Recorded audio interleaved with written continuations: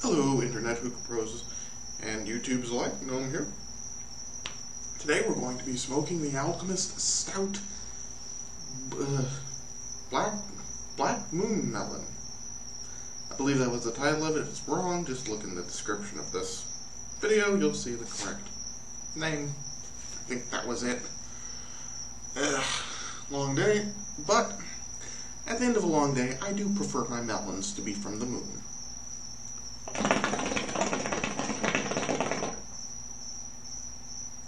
And this particular bowl is from a watermelon moon.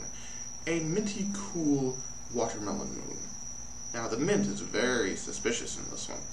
It is not necessarily present. It is more of a gentle menthol. It's very interesting. Very interesting. But again, the stout lines seem to have a funky texture, a Velcro-like, fuzzy, fine chop. I mean, very fine chop. If you're going to call it a chop at all, more like a mince. With a good amount of juice. And I do mean a good amount of juice in this one.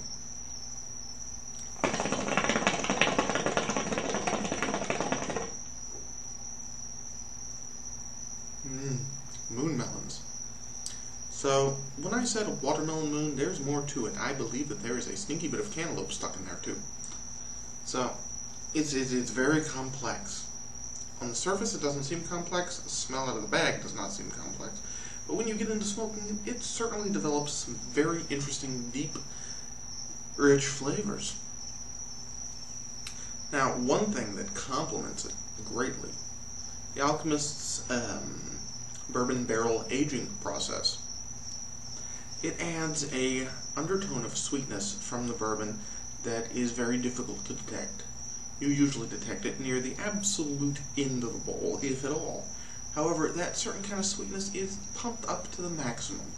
It is that same kind of sweet that lends the sweetness to this melons from the moon.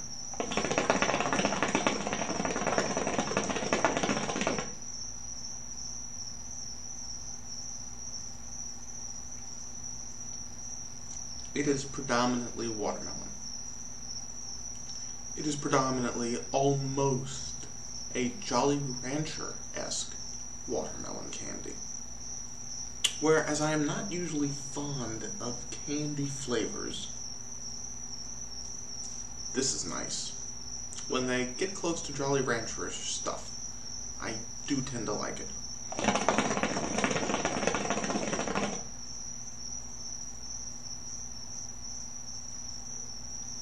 So I've had this going for a few minutes before starting the review, and already I can tell it does have a buzz factor to this one. I am very pleasantly surprised, even though it is very gentle. Now, if I'm going to hazard a guess at the percentages of what's in here,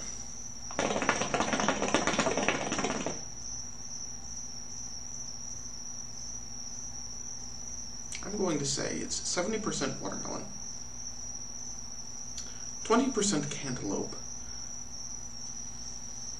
and perhaps 10% almost strawberry?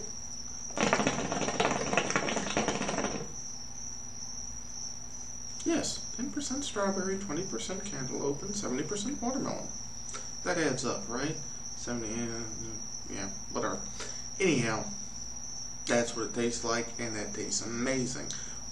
But what happened to that mint? Well, that mint, uh, excuse the background noise of a duck or a goose having a heart attack in the background. Uh, that mint is not present, but it's there. It is menthol. It is the cooling of a menthol lovely with this. Very lovely.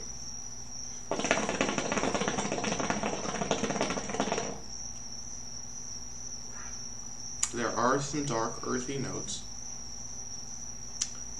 And let's explore that a little bit. Let's see what it's like at the end of the bowl. We'll be right back. Hello folks. We're back. We're near the end of the bowl by the taste of it. And by the duration. So, what happened to it?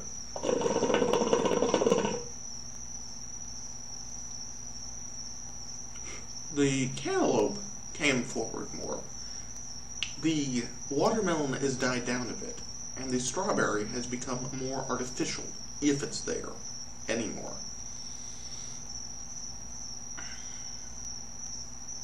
It's okay. It's very okay. It was delicious to begin with.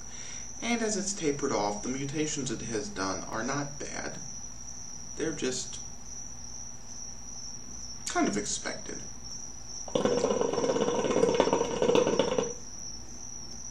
It remains its cooling factor, and it also remains its buzz factor, which is starting to surprise me. It's creeping up on Nakhla levels. I don't know if it's just because I'm really hungry, which I'm not that hungry, or what, but it is definitely have more punch to it than the lemon mint.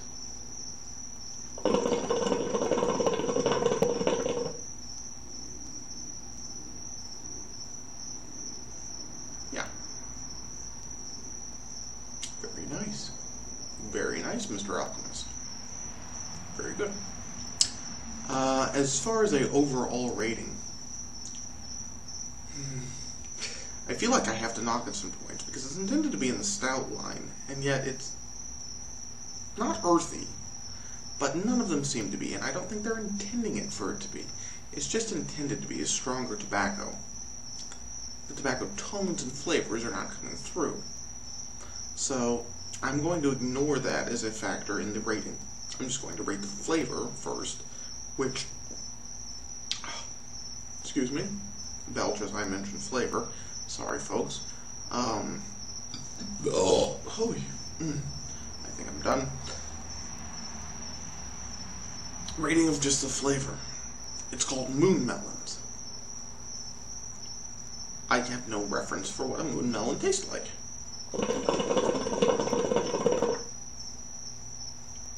But if I had to make it up, I'd love it to be this. It's very nice. I do not normally care for cantaloupe, but when it's mixed this way, it's good. It's good. So, I can't rate accuracy. It's a unrealistically sweet watermelon, etc. It's not natural. So I'll just rate how much I like it personally, which I don't like to do. I'm going to have to rate it at an 8.2, which is extremely high for how I rate stuff for just my own personal taste. I think it's very newbie accessible. Accessible? Accessible. It, eh, newbies will like it. Uh, experienced folk, if they like sweeter stuff, will like it too. So, overall, good smoke. Nice. I'm going to have to say goodnight, Moon, and I'll see you next bowl. Hello, this is the addendum for the Moon Melon from the Stout line of Alchemist.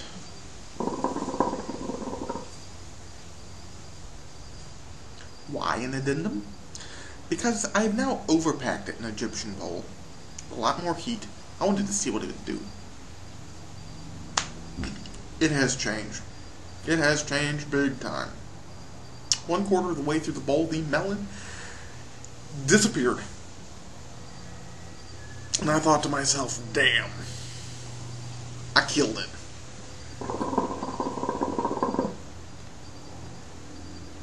I thought that the flavor was going to go bye-bye. No. All of a sudden, a spicy, throat-drying peppermint jumps out. When I say peppermint, it was peppermint feeling. The flavor was Altoids. Just Altoids. Altoids Red 10 Original, curiously strong, and so is this.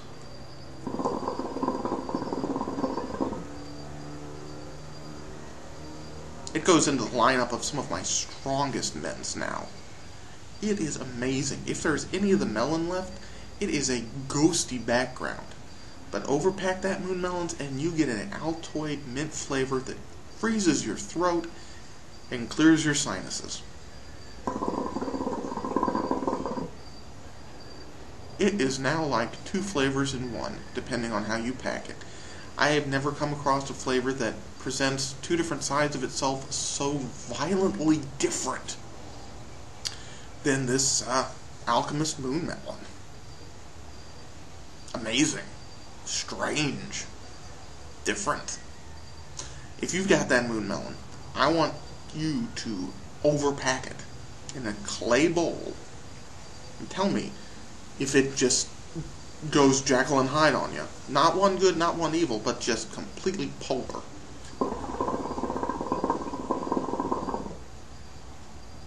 Yeah, the breeze is taking away my smoke. But beforehand, well, you just watched the review. You know, the melon's flavor was predominant and the mint was a backseat. Total parallel. Alright, until next bowl, folks.